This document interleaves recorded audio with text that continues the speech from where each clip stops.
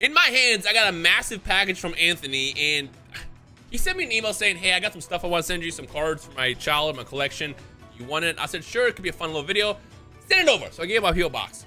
I didn't expect there to be this much stuff. Like, there's, there's so much.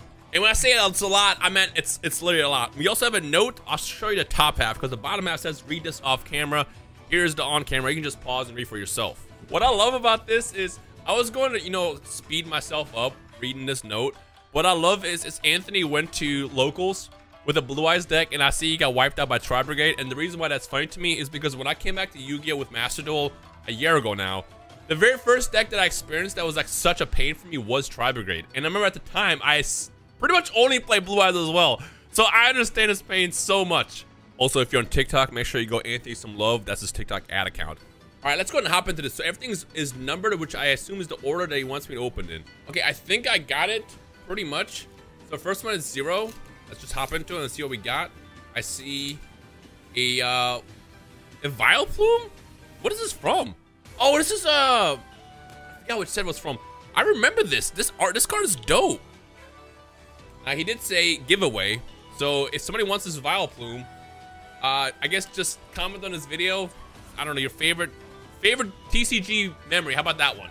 It could be anything and I'll pick someone out and I can mail this out to you at some point in the next like, couple days. Hopefully I don't forget because I tend to upload to this channel and then just walk away and then forget that I did it. So uh, give me a couple days and then I'll pick someone out and you can have this Vileplume. All right, number one, not Yu-Gi-Oh or Pokemon. What could that be? Does anyone here have stuff that they're into that's not Pokemon or Yu-Gi-Oh? You guys already know from me, it's Weiss Schwarz. I've been super into this lately. I love the TCG. I mean, it's basically just anime TCG that has a bunch of different IPs. I feel like I talk about it a lot. But if, if there's something for you that's not Pokemon or Yu-Gi-Oh that you're into, let me know down below. And we got, uh, oh, this is Dragon Ball Super. The Dragon Ball Super TCG is actually very, very dope. And we got it's an SR of Goku, Pan, and uh, Trunks. And then we got, yo, this is dope. I never pulled this one. SPR Frieza? I forgot which set this is from. But I remember I definitely wanted this one. So that's kind of cool. Thank you. This is this is dope. I'm keeping this one. People like, what else you giving away? I am keeping that one. All right. Number two, we have arch archetypes, archetypes, archetype specific metas. All right, so let's kind of hop into it. I, I actually use some of these. So we have Albion, the Brain of the Dragon. This is actually in my deck right now. I put that in like both my Blue Eyes and my Dark Magician deck because this is easy to bring out uh, any fusion for the Blue Eyes deck. And for Dark Magician specifically, it brings out Dragoon and Dragon Knight. Small World is actually fantastic. It's a good card. Very good card. Then we got Shooting Star Dragon in uh, Ultra Rare from uh, Brothers of Legend. We have uh, Libromancer, which I don't really know much about. So we got Geek Boy.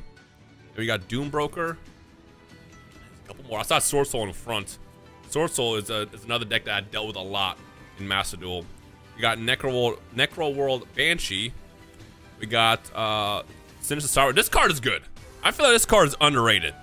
I, I say as if it's not like one of the best cards in the game. And then we got Flu, the map. Uh, actually, it's not the map. It's Adventure, Advent Adventure. I hate Flu and everything about it. Just, ooh, I, I, see Flu, I get angry.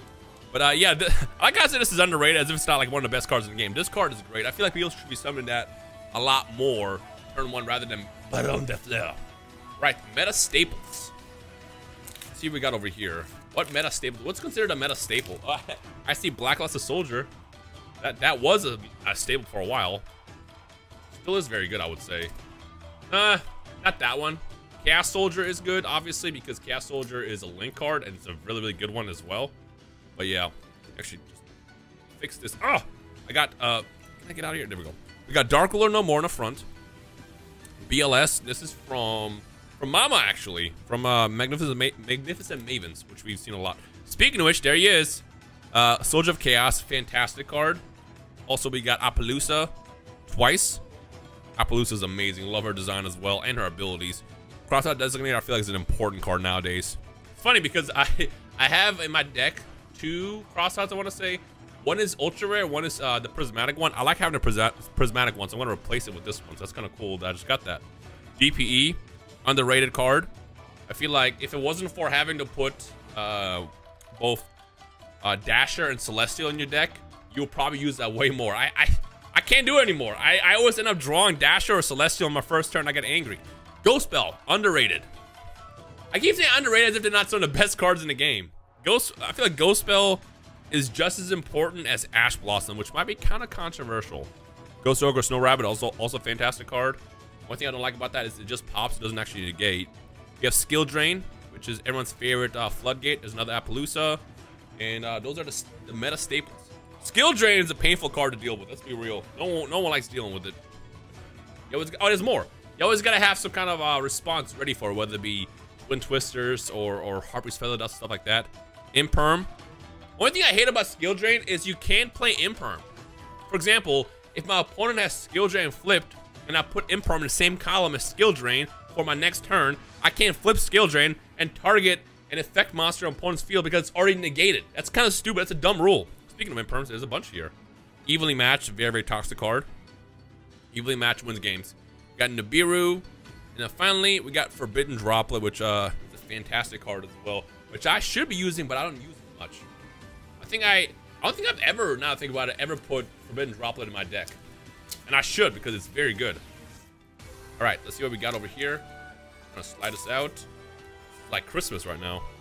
Ooh, Dragon Knight. There it is. One of my favorite cards. This is my staple in my Dark Magician deck. deck. Got Quintet Magician as well. That Quintet Magician.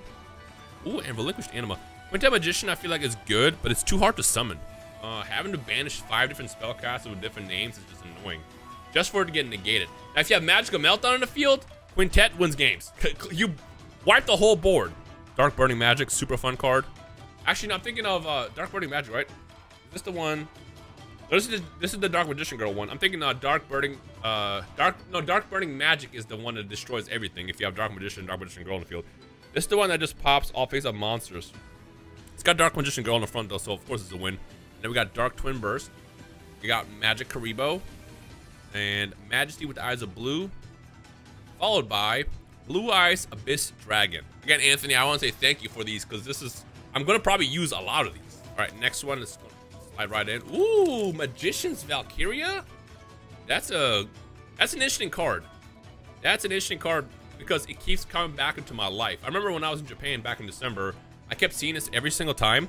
And then during Ruxin's uh, price video, this was tossed in. And I was like, I just saw this card. And it's funny because I did kind of want it after, you know, talking to Ruxton. And here we are now, not even a month later, did that video. Um, now I have it. It's interesting because this card was a limited edition for no reason. It's kind of confusing why it is. Pretty fire card. It's, it's just Dark Magician Girl.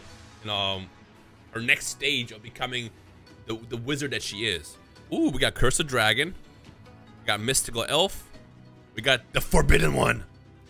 Stardust Dragon. Ooh, this Wing Dragon of Ra. This Slifer card's dope. This Wing Dragon of Ra design is fire as well, and this is uh, des uh, designed and drawn by the creator of Yu-Gi-Oh! Fun fact, did you guys know uh, any card that's, that's made by the creator of Yu-Gi-Oh! doesn't have... See how it has like a little border over here on the Slifer? This doesn't. Every single card that's drawn by him doesn't have that. Um, and I think that's because it won't be more closer to how OCG cards are. I might be wrong on that, but that's kind of a cool little fun fact in case you didn't know. Ooh, look at that. We got the blue eyes, the blue eyes section of the video. Love that everything is, oh look, we also got Dark Magician one. I like that everything is kind of like labeled. So it's like, you know what to prepare for when you're opening into this. But this is this is my territory right here. We got Blue Eyes and Dark Magician stuff. I'm with it.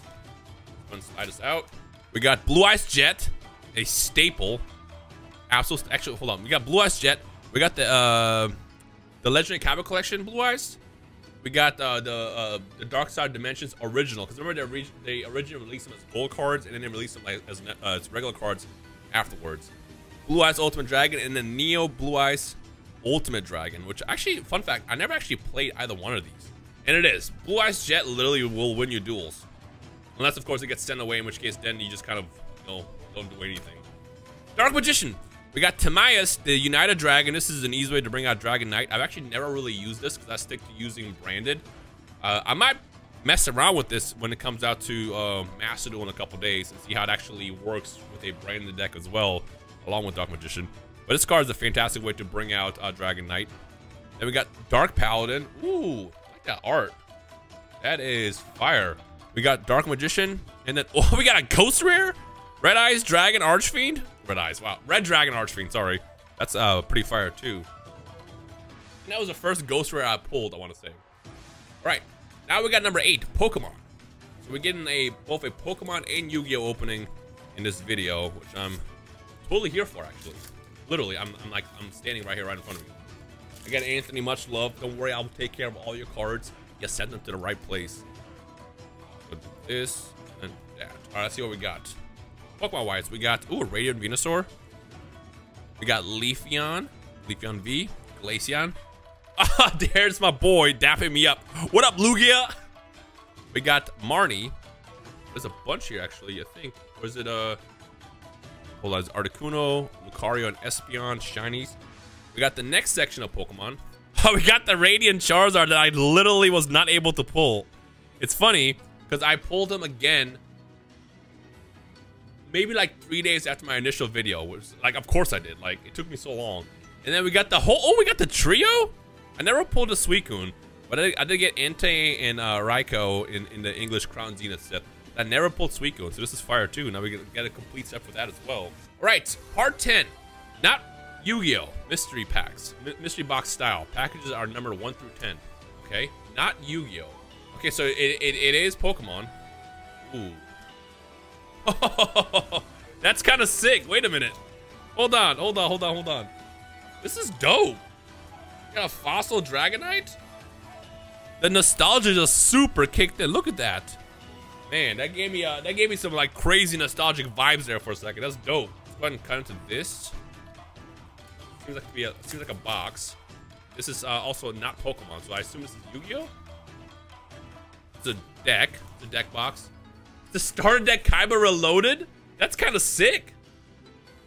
So this is the one that comes with the ultimate blue eyes, right?